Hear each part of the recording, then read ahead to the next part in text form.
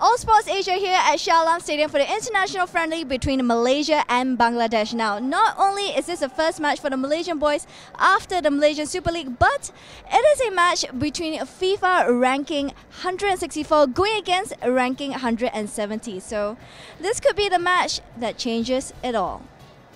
Bangladesh fans came out in high spirits to witness what had hoped to be a turnaround match from their last meet in the Bangga Gold Cup final.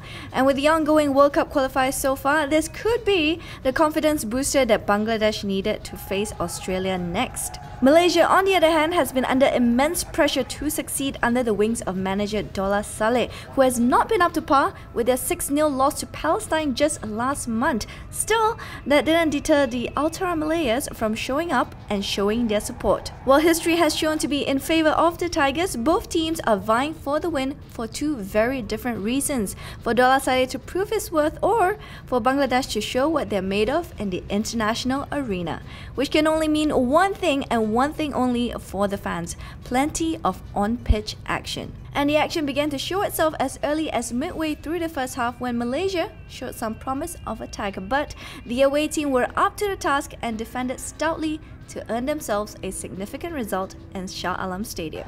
Full-time score nil-nil between Malaysia and Bangladesh. No goals, but plenty of action. And look at that! The Bangladesh players are greeting their fans, and so are the Malaysian players. Well, for both teams, plenty more action to come. Bangladesh will be facing Australia next. For Malaysia, they'll be focusing on the AFC Cup as well as against UAE and Saudi Arabia, all of which you can catch on www.allsports.net.